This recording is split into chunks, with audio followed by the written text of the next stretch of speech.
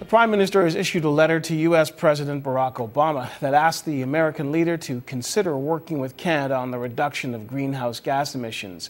It's hoped this proposition could lead to the President's approval for the Keystone XL pipeline project. Josh Skurnik joins us from Vancouver with more on this one. What do you have for us, Josh?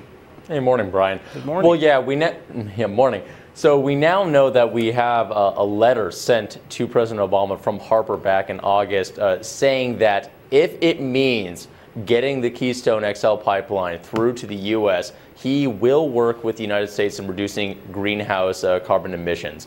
And so this is a big step forward, obviously, as Harper is trying everything he can in order to get President Obama to see eye to eye on the project here. Um, he, Harper thinks and says that this project is in the best economic interest of both the U.S. and the United States. But as we all know, in the past uh, couple of months, uh, President Obama has been very vocal, actually, on saying that he doesn't think that it's in the best interest. He has really been, according to uh, himself, Obama has been very doubtful on the amount of jobs, uh, really downplaying it, saying it only would create a couple uh, hundred th- or just a couple thousand, really, when we know that, according to uh, many uh, politicians and the company itself that they say it would create uh, tens of thousands. And so this just shows that Harper is almost extending an olive branch. And when we asked him, uh, the PMO's office, about this, they sent us a statement saying, uh, quote, that they don't comment on uh, issues such as this, but they will say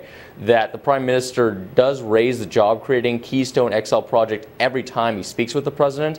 The Keystone project is in both countries' national interest and will create jobs and economic growth on both sides of the border while increasing North American energy security. Canadians can count on our government to fight for Canadian jobs and yada yada yada. But the point of the matter is, is that this is going forward, right? Uh, as these projects, uh, you know, continue to get uh, planned and then uh, go into the development phase, you know, Harper he knows that he needs to try and get them to these foreign markets, and one of those foreign markets is the U.S. Brian. Hmm, sounds like progress, uh, at least a little bit. Anyways, we'll have to wait and find out. Thanks for this, Josh. No problem. That's Josh Skurnik in Vancouver.